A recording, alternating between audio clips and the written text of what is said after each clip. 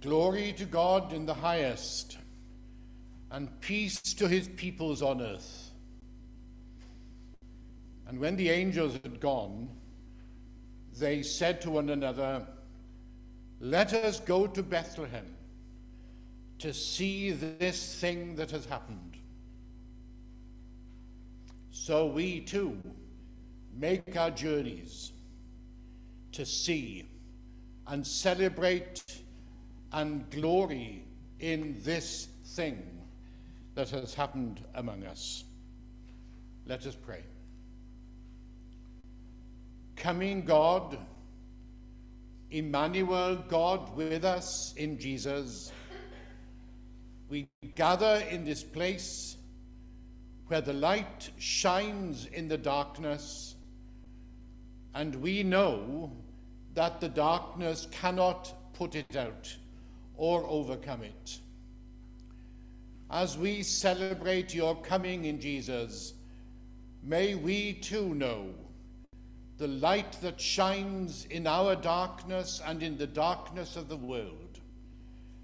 And as we contemplate conflict and violence, may we also celebrate joy and hope as we hear again the, the story of Jesus coming and celebrate and make our journey during this final week of Advent to Christmas and celebration and joy. We ask this prayer in the name of Jesus, the Emmanuel God with us. Amen. I can only see faint images of people in the congregation, but I assume there are people there. um, I spent a lot of time preparing the booklet for this service.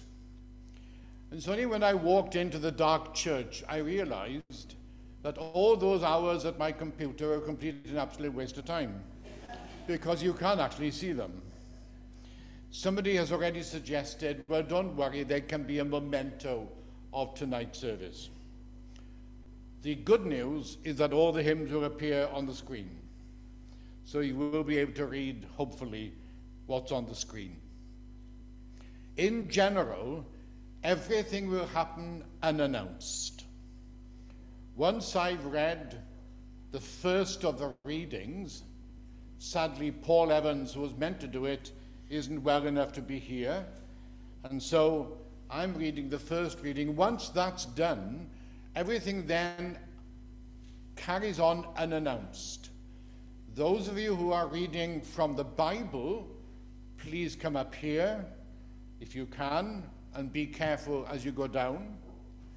And those of you who are reading poems or what are actually hymns by Brian Wren, which I chose deliberately to celebrate Brian Wren's contribution to our thinking about Advent and Christmas. Those of you who are reading poems, please do so from the lectern. And everything, as I say, will proceed unannounced. Except for this first hymn. We sing, as traditionally done in these services of carols, once in royal David's city stood a lowly cattle shed, our first carol.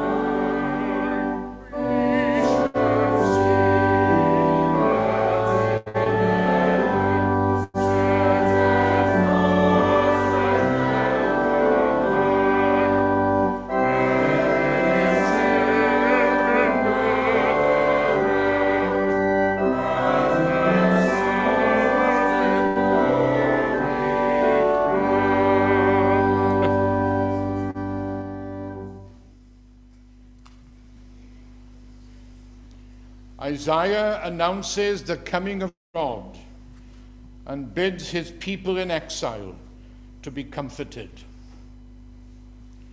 Comfort, comfort my people, says your God. Speak tenderly to Jerusalem and proclaim to her that her hard service has been completed, that her sin has been paid for, that she has received from the Lord's hand double for all her sins. A voice of one calling, In the wilderness, prepare the way for the Lord. Make straight in the desert a highway for our God. Every valley shall be raised up, every mountain and hill made low. The rough ground shall become level, the rugged places a plain. And the glory of the Lord will be revealed and all people will see it together. For the mouth of the Lord has spoken. A voice says, Cry out. And I said, What shall I cry? All people are like grass, and all their faithfulness is like the flowers of the field. The grass withers and the flowers fall, because the breath of the Lord blows on them. Surely the people are grass. The grass withers and the flowers fall, but the word of our Lord endures forever. You who bring good news to Zion, go up on a high mountain. You who bring, bring good news to Jerusalem, lift up your voice with a shout. Lift it up. Do not be afraid. Say to the towns of Judah, Here is your God. See, the sovereign Lord comes with power, and he rules with a mighty arm. See, his reward is with him, and his recompense accompanies him. He tends the flock like a shepherd. He gathers the lambs in his arms and carries them close to his heart. He gently leads those that have young.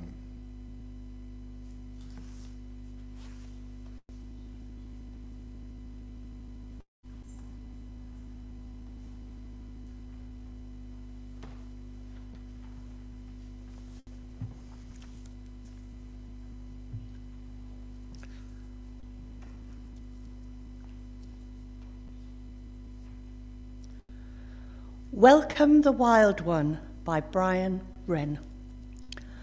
Welcome the Wild One, the desert declaimer, urgently, awesomely crying his news. Now, listen now, there is one who comes after. I am unfitted to fasten his shoes.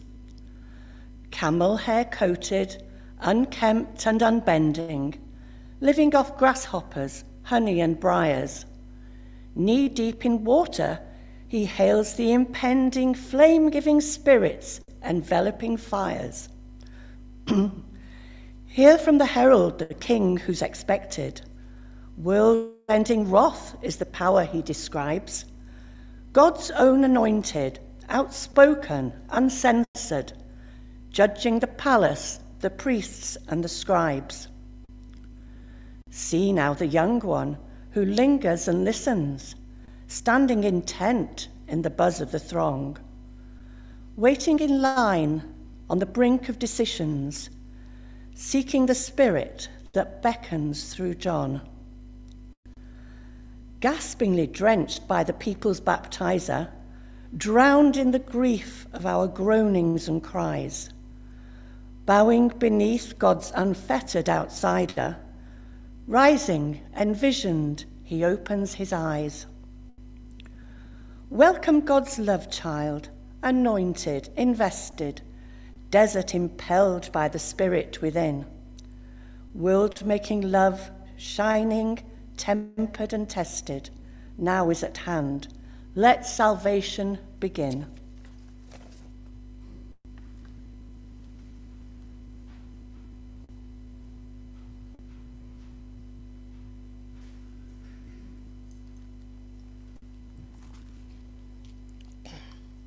The Coming by R.S. Thomas. And God held in his hand a small globe. Look, he said. The son looked. Far off, as though through water, he saw a scorched land of fierce colour. The light burned there. Crusted buildings cast their shadows. A bright serpent, a river uncoiled itself, radiant with slime. On a bare hill, a bare tree saddened the sky. Many people held out their thin arms to it as though waiting for a vanished April. An April to return to its crossed boughs. The son watched them. Let me go there, he said.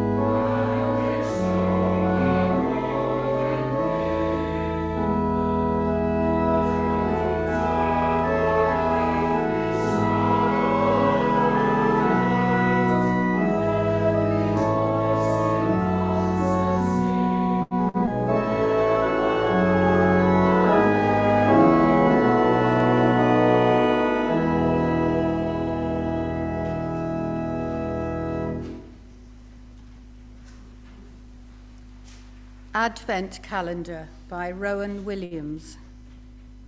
He will come like last leaf's fall, one night when the November wind has flayed the trees to the bone, and earth wakes choking on the mould, the soft shrouds folding.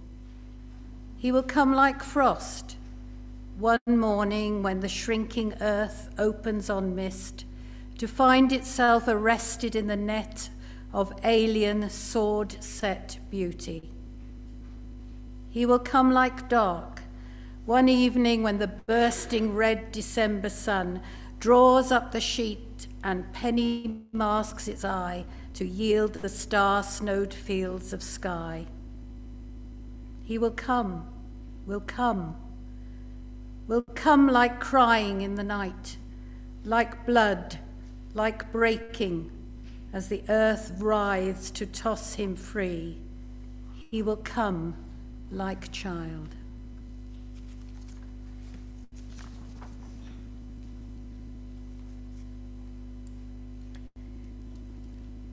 Luke chapter 1, verses 46 to 55, Mary's song. And Mary said, My soul glorifies the Lord, and my spirit rejoices in God my Saviour. For he has been mindful of the humble state of his servant. From now on, all generations will call me blessed, for the mighty one has done great things for me. Holy is his name. His mercy extends to those who fear him from generation to generation. He has performed mighty deeds with his arm. He has scattered those who are proud in their inmost thoughts. He has brought down rulers from their thrones, but has lifted up the humble. He has filled the hungry with good things, but has sent the rich away empty. He has helped his servant Israel, remembering to be merciful to Abraham and his descendants forever, just as he promised our ancestors.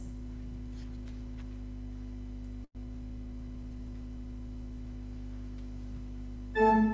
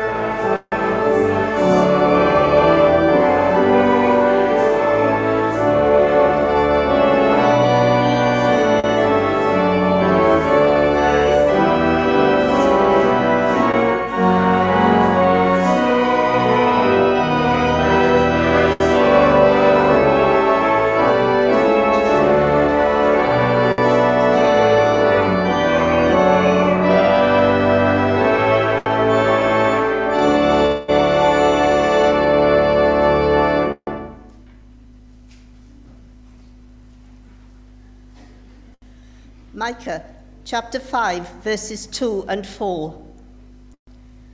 But you, Bethlehem, Ephrathah, though you are small among the clans of Judah, out of you will come from me one who will be ruler over Israel, whose origins are from of old, from ancient times.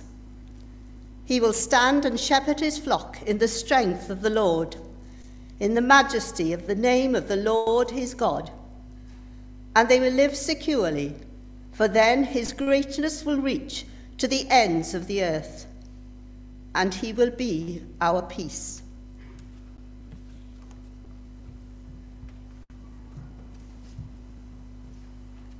Thank you.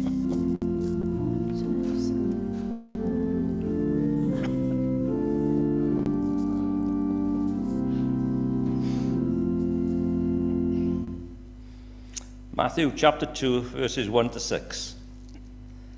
After Jesus was born in Bethlehem in Judea during the time of King Herod, the Magi from the east came to Jerusalem and asked, Where is the one who has been born King of the Jews? We saw his star when it rose, and he came to, and we have come to worship him. When King Herod heard this, he was disturbed, and all Jerusalem with him. When he had called together all the people, chief priests, the teachers of the law, he asked them where the Messiah was going to be born. In Bethlehem in Judea, they replied, for this is what the prophet has written. But you, Bethlehem, in the land of Judah, are by no means least among the rulers of Judah. For out of you will come a ruler who will shepherd my people Israel.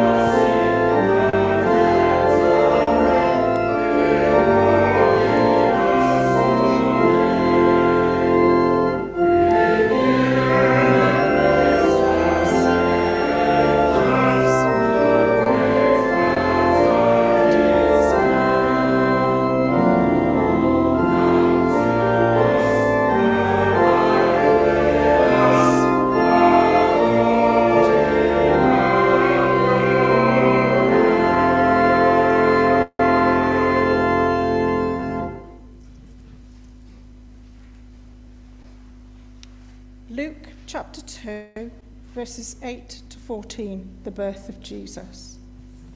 And there were shepherds living out in the fields nearby, keeping watch over their flocks at night.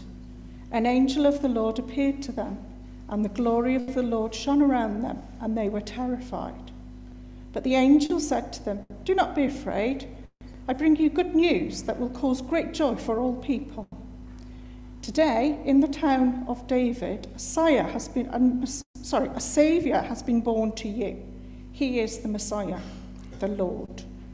This will be a sign to you. You will find a baby wrapped in cloths and lying in a manger.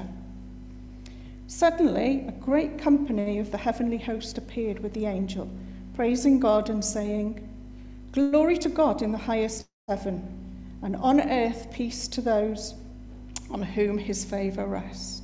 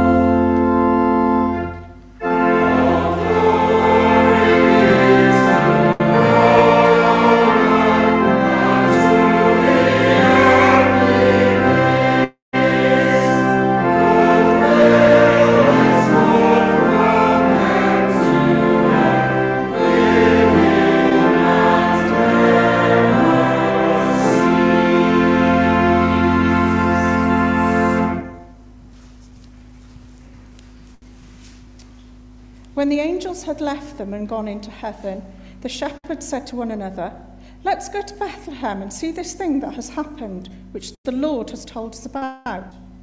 So they hurried off and found Mary and Joseph and the baby, who was lying in the manger.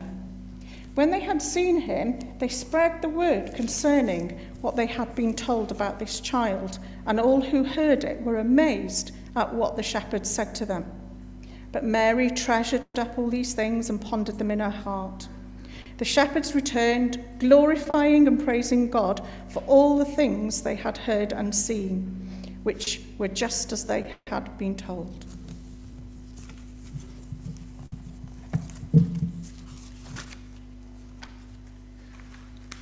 Joseph's Song by Brian Wren.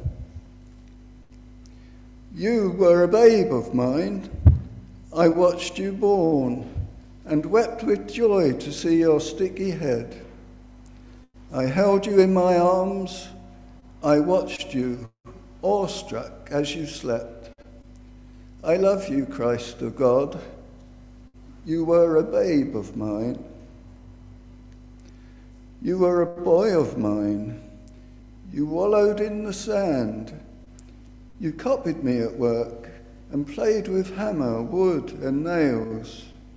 You talked to me and held my hand. I love you, Christ of God. You were a boy of mine. You were a youth of mine, Quite suddenly you grew and questioned all my words and ways. I felt you breaking free. I raged, admired, and feared for you. I love you, Christ of God. You were a youth of mine. You were a son of mine, full grown, my hope and pride. You went your puzzling way, a man so ready, fine and young. Life broke in me the day you died. I love you, Christ of God. You were a son of mine. You are the life of all, the Christ, the chosen one. You loved and gave yourself for me. As I belong to you, new worlds are born, new life begun. I love you, Christ of God. You are the life of all.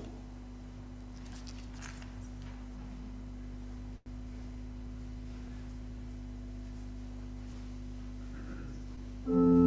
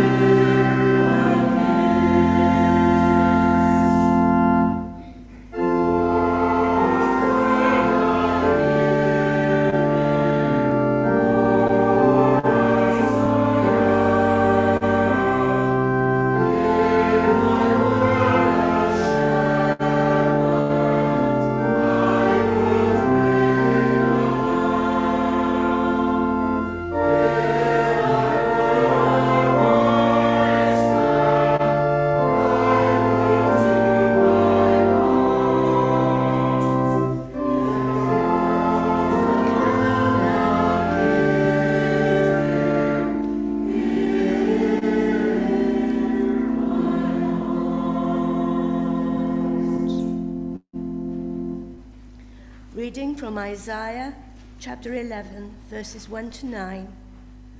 A shoot will come up from the stump of Jesse. From his roots, a branch will bear fruit.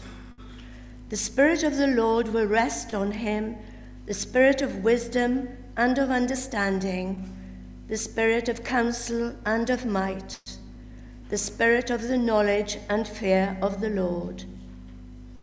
And he will delight in the fear of the Lord He will not judge by what he sees with his eyes or decide by what he hears with his ears. But with righteousness he will judge the needy. With justice he will give decisions for the poor of the earth. He will strike the earth with the rod of his mouth, with the breath of his lips he will slay the wicked. Righteousness will be his belt, and faithfulness the sash around his waist. The wolf will live with the lamb, the leopard will lie down with the goat, the calf and the lion and the yearling together, and a little child will lead them. The cow will feed with the bear, the young will lie down together, and the lion will eat straw like the ox. The infant will play near the cobra's den, and the young child will put his hand into the viper's nest. They will neither harm nor destroy on all my holy mountain, for the earth will be filled with the knowledge of the Lord as the water covers the sea. Amen.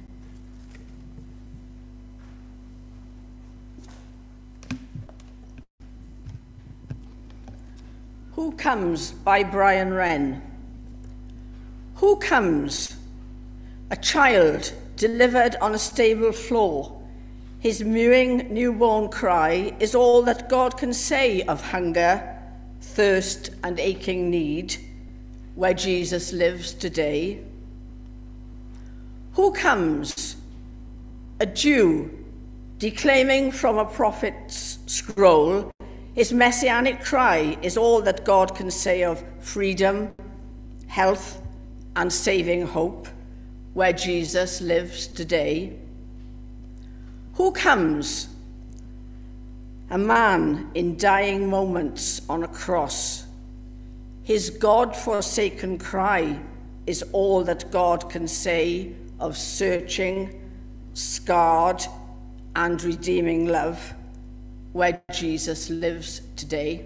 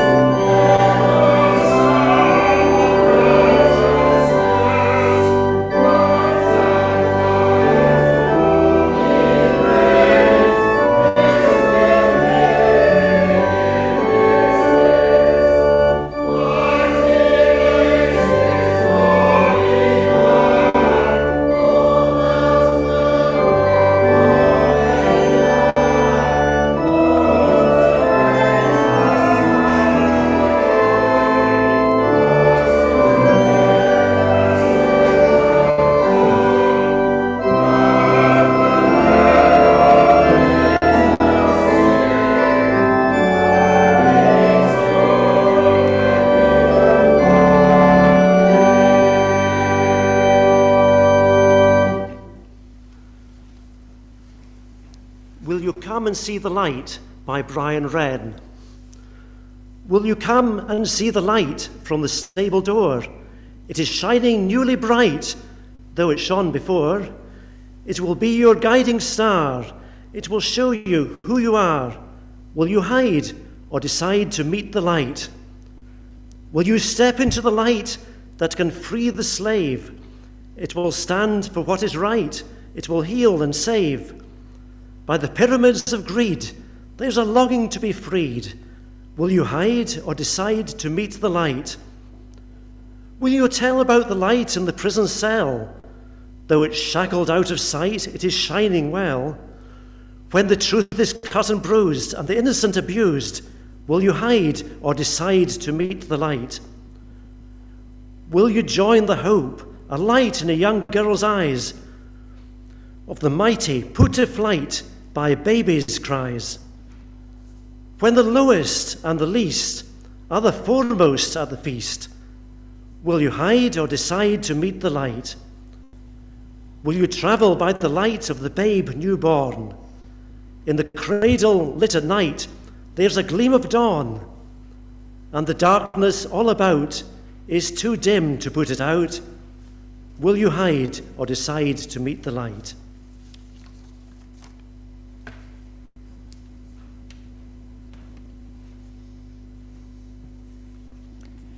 The word of life.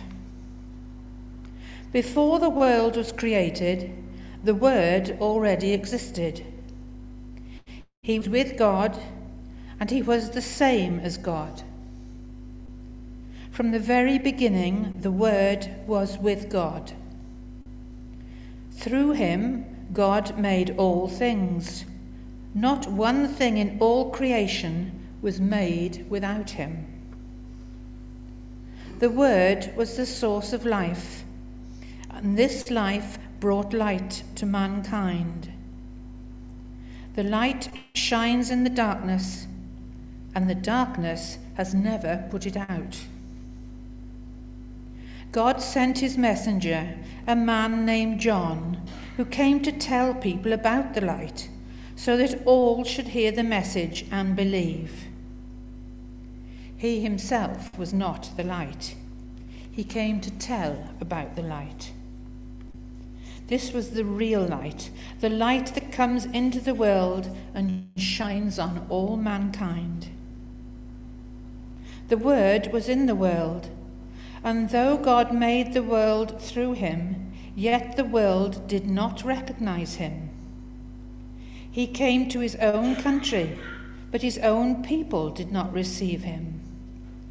Some, however, did receive him and believed in him. So he gave them the right to become God's children. They did not become God's children by natural means. That is, by being born as the children of a human father. God Himself was their father. The Word became a human being and full of grace and truth and lived among us. We saw his glory, the glory which he received as the Father's only Son. Amen.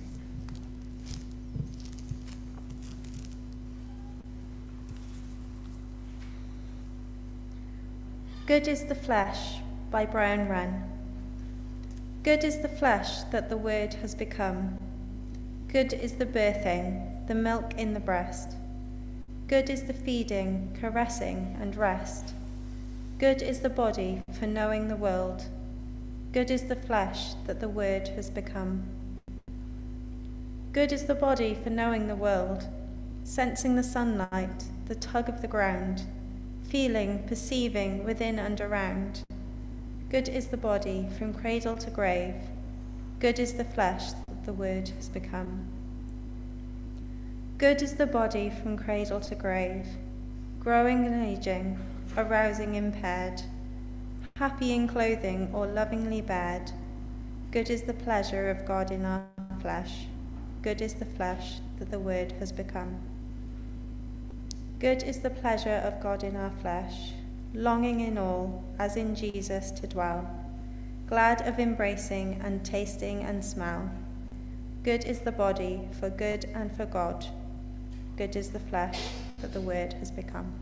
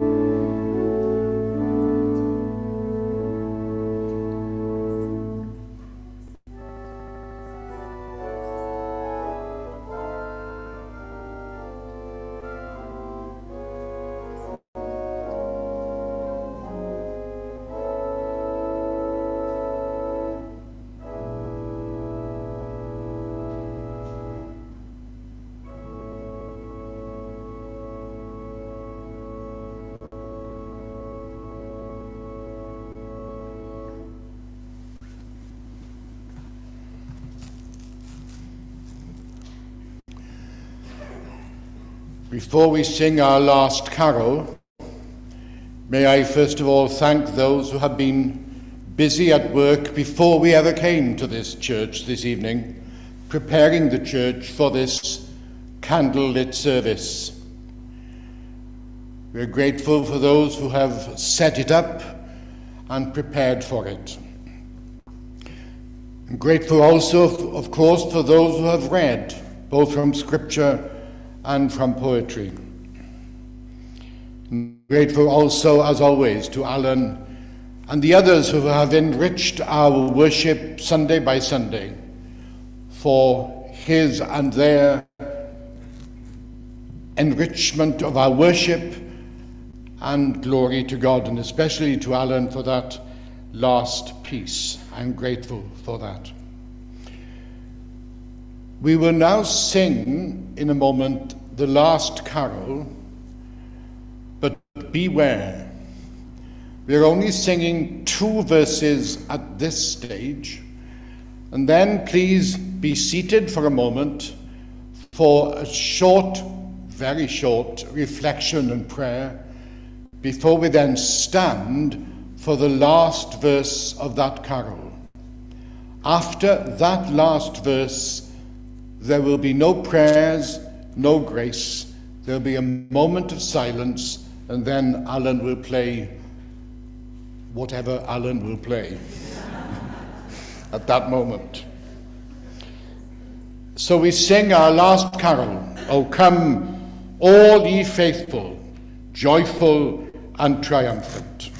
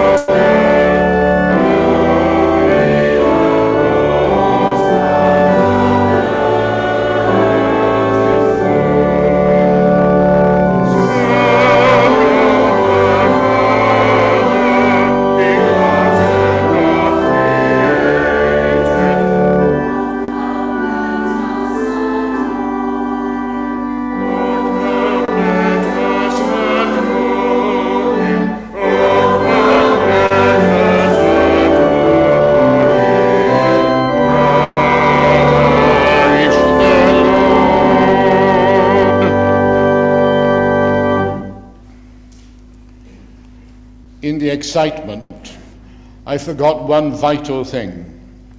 You won't need to be reminded that there are mince pies in the Wesley room.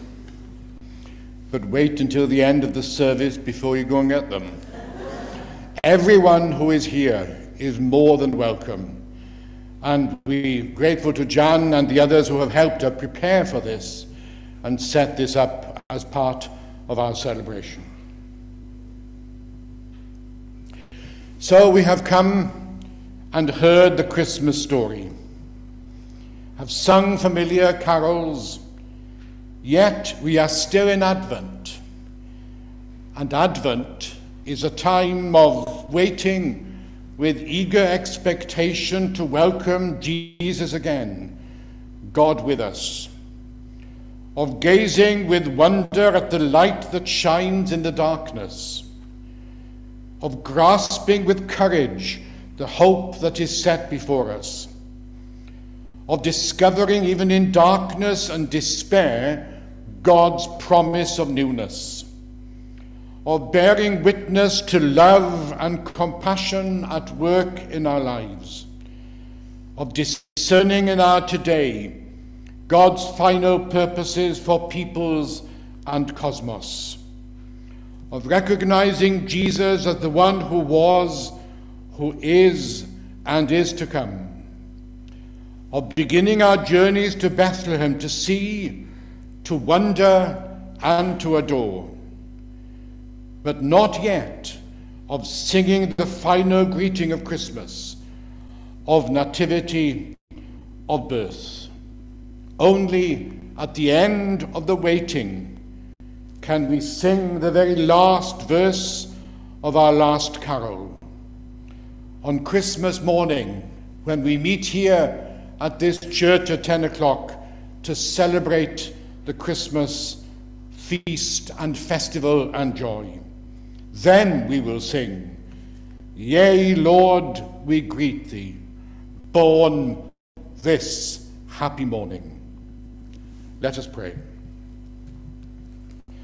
God, our dayspring and our dawn, we turn to you when we fear the dark and all around us weep. We pray you greet us with your shining light, that we may spread your warm embrace and kindle the hope of Christmas in all whose lives remain in shadow.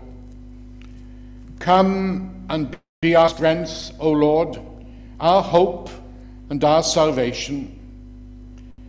Lord, the sight of the guiding star brought hope, brought hope, courage, and joy to those who had journeyed to find you.